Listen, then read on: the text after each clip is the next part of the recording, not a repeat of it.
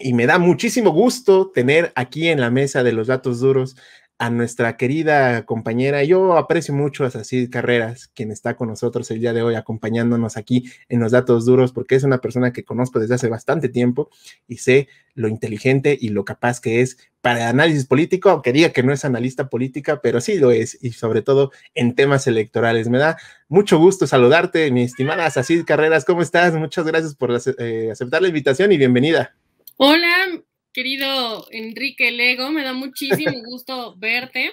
eh, y, agradezco mucho la oportunidad de, estar en este espacio con temas que por supuesto son coyunturales, que son muy interesantes y que me parece que eh, la ciudadanía pues tiene que ser partícipe de estas discusiones, así es que muchas gracias por la oportunidad de estar aquí y por tus palabras. Yo también te, te valoro, te quiero muchísimo y sé que eres un periodista muy joven que va a marcar una ruta distinta para el periodismo de nuestro país. Muchas gracias, así. Pues sí, temas bastante importantes y empecemos con esto que estábamos hablando. Sé que es uno de los temas que ha dado mucho de qué hablar, el tema cultural, el tema de esto de la agregada cultural en la Embajada de España, que es Brenda Lozano. ¿Tú cómo ves? ¿Cómo ves las palabras del presidente López Obrador? ¿Por qué el presidente López Obrador tiene que venir a marcar la pauta de lo que está haciéndose mal y no la gente que está para hacer las cosas y resolver los problemas. ¿Cómo ves este caso de, Brenda Lozano, que ha dado mucho de qué hablar en redes sociales sobre todo, y que son las redes sociales, afortunadamente, quienes denuncian esta situación y lo que está mal en este tipo de, ejemplos para el mundo de lo que se está viviendo en México con la transformación del país? Pues em, bueno, yo quisiera decirte que el presidente, pues, eh, debería ocuparse de otros asuntos, pero la verdad es que celebro que esté ocupado también de estos, ¿no? De los asuntos que podríamos considerar pequeños, porque además, em, si bien es cierto que la Secretaría de Relaciones Exteriores pues tendría que hacer, digamos, una mejor selección de perfiles y evitarle este tipo de, de momentos bochornosos, si así queremos llamarlo, la verdad es que a mí me reconforta mucho que tengamos a un presidente cercano, a las discusiones públicas, a lo que está pasando y sobre todo que tome acciones, ¿no? Eh, a raíz de lo que él va detectando que, está en el pulso, muchas veces en las redes sociales, muchas veces a lo largo de los recorridos que él hace a través del país, pero em, me parece que sí es un llamado de atención. Eh, yo no lo consideraría de manera directa, tampoco eh, incluso en contra de Marcelo Ebrard. Me parece que es un llamado de atención para la gente que trabaja al mando de Marcelo Ebrard, bajo su mando, porque eh, ellos son los que tienen que hacer este, este trabajo, revisar los perfiles, pero me parece que son quienes tienen que enterarse de que ya no están trabajando para administraciones anteriores, que no están trabajando para gobiernos del PRI o del PAN, y que es importante que eh, elijan perfiles que cumplan em, con, con una, una congruencia, con ética, con una forma incluso de expresarse que sea distinta en redes sociales, porque eh, a mí me parece desafortunado. O sea, e, en realidad yo veo los tweets que, se hicieron públicos eh, de la casi funcionaria eh, pública y me parecen muy desafortunados. Yo creo que una persona con una capacidad tan limitada para razonar, para expresarse, con una facilidad para mostrar desprecio en menos de 500 caracteres, eh, me parece que no tendría por qué estar en un lugar así, pero esto no es tarea ni siquiera de Marcelo Ebrard. Eh, lo hemos visto eh, muchas veces. pareciera que la Secretaría de Relaciones Exteriores no ha encontrado todavía el cauce para entender que están siendo parte de un gobierno distinto y no de gobiernos conservadores con los que estaban acostumbrados a trabajar desde una de las secretarías más elitistas que existen en el Estado mexicano.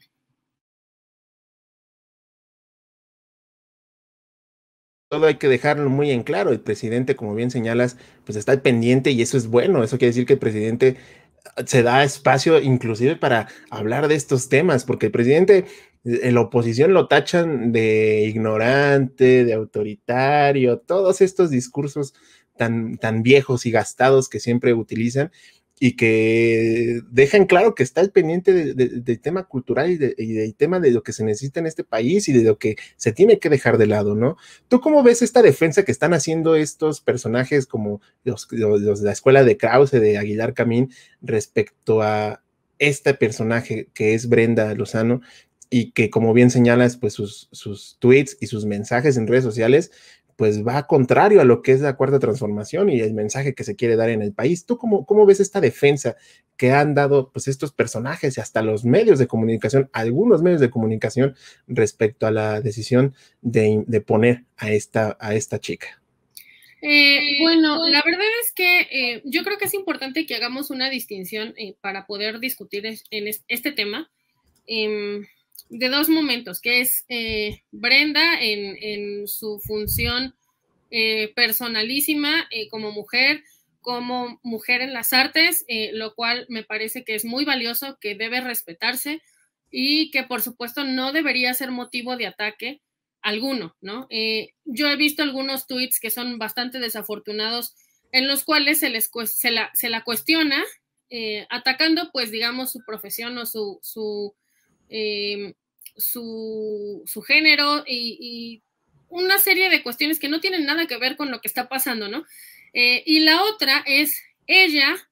en sus convicciones personales, que son las que nos ha dado a conocer a través de sus, de sus tweets.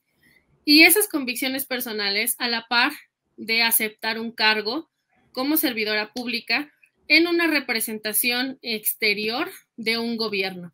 Y, eh, yo quisiera que nos centráramos, y, es una invitación también para quienes nos escuchen, a que nos centremos en eso, no, en discutirla a ella y a su trabajo personal, sino a ella y estas convicciones que por supuesto no son coincidentes con el gobierno y que eh, no tienen nada que ver en lo absoluto con un posible trabajo que ella podría realizar y que entonces sí estaría viciado de origen. Eh, esto es lo que no entienden los, em, los defensores de esta postura, eh, de la postura de ella como crítica del gobierno y de la postura incongruente, yo lo tengo que decir, a mí me parece incongruente que ella la haya aceptado este cargo sabiendo el rechazo profundo que siente por el gobierno. Em, es muy importante también mencionar que eh, el presidente constitucionalmente es quien dirige la política exterior mexicana. Y muchos, eh, muchos han estado diciendo, es que la Secretaría de Relaciones Exteriores no representa al gobierno, representa al Estado mexicano. Y si bien eh, las relaciones diplomáticas, la diplomacia exterior, son funciones de estados, es decir, del Estado mexicano en su relación con otros estados, que son otros países, lo cierto es que la política exterior se construye desde un gobierno eh, y es inconcebible que eh, se pretenda que alguien que eh, no, es coincidente con la política de gobierno actual pudiese generar em, políticas de diplomacia exterior en materia cultural que fuesen acordes con la cuarta transformación. ya lo mencionabas tú, eh, al inicio del programa, estos grupos em, de poder se han hecho del control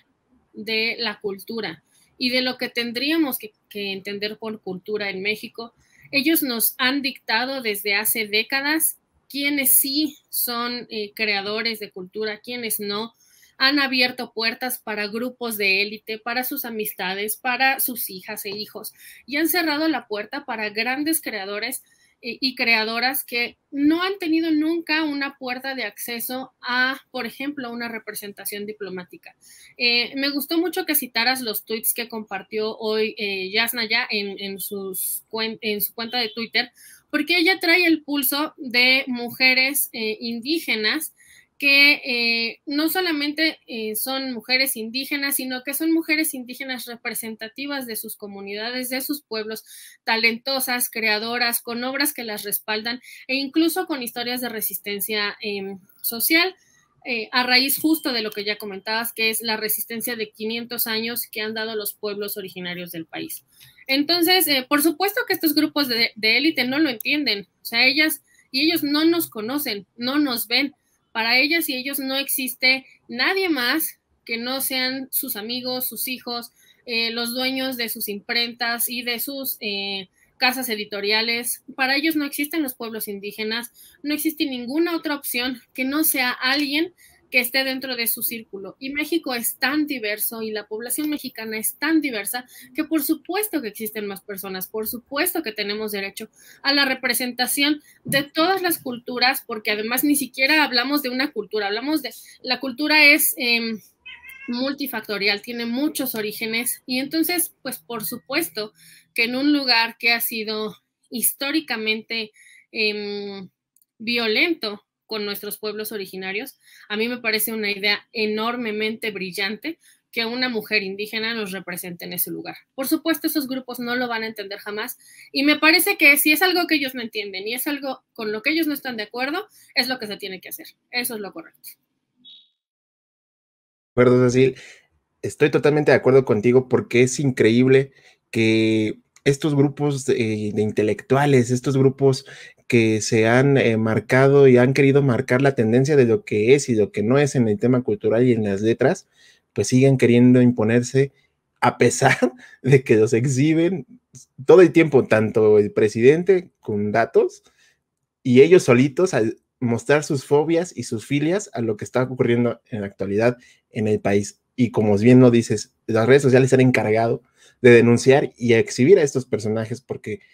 nos vendieron un México distinto, un México tan marcado de, estigmas y tan marcado de este clasismo, si ya lo queremos ver de cierta forma eh, muy marcado, e inclusive entre ellos mismos, porque entre ellos mismos se autobanean o banean a los que no son parte de estos grupos, es, es, importante que se empiece a hacer un cambio en este tipo de cosas. Y como bien lo dices, hay que seguirlo analizando y hay que seguirlo eh, llevando a un análisis más complementario y profundo con mensajes, como bien lo dices, de, como de nuestro titular, el maestro Sevilla, o personajes que han alzado la voz respecto a este tema, que necesitamos poner un alto a estos, a estos grupos.